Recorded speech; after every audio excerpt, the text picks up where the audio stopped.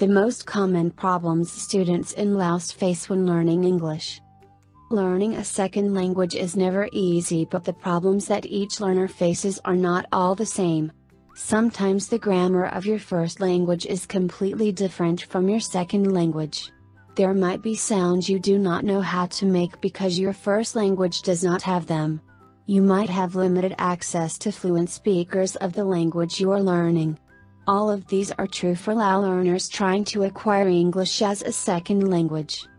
Teaching students new vocabulary and how to pronounce it requires patience and creativity. The national language in Laos is called Lao. It is missing many of the sounds that native English speakers take for granted.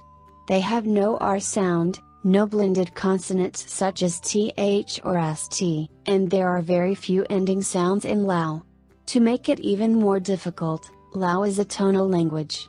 This means Lao students often concentrate on the tone the teacher says the word in instead of paying attention to the pronunciation of the letters. All this conspires to make pronouncing even the simplest English word a challenge. Take the words bedroom and bathroom, for example.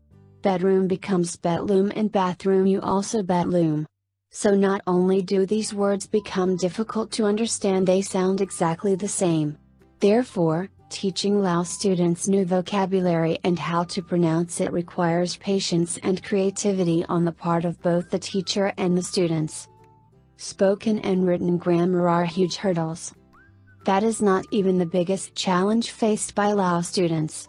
Both spoken and written grammar are huge hurdles. Let's start with spoken grammar.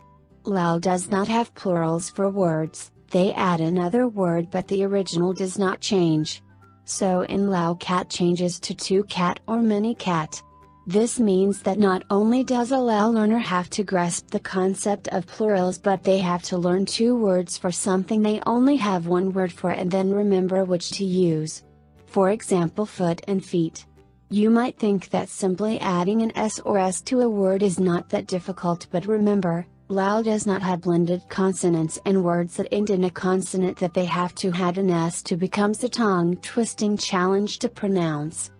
To make it even more of a challenge, Lao does not have tenses. So past and present tense are just as challenging as plurals. If that is not enough Lao word order is also different. This means that in Lao a red ball becomes a ball red. Learning English grammar is a monumental challenge for Lao learners. The Lao writing system is completely different compared to English. Now let's look at the differences between Lao and English writing. Lao writing has no spaces between the words, the alphabet is completely different, they traditionally do not use any punctuation, and they do not read words so much as syllables. To add to all of this Lao is a basically phonetic language, each letter has a sound it makes and only one sound so a Lao learner has no easy time learning to read and write English. The exposure to English is very limited in Laos. If all of this is not enough challenge for Lao learners just add in the fact that there are very few English speakers in Laos. The exposure to English that the average Lao learner has is limited to the time in the classroom and sometimes a chance encounter with a tourist. This makes retaining and practicing English a challenge even for the most confident of Lao students. With a limited number of English speakers many of the English teachers don't even speak English fluently. Are you ready to teach English abroad? Even with all of these challenges there are many Lao students studying English. With every level of fluency they gain their job opportunities become more numerous and better paying.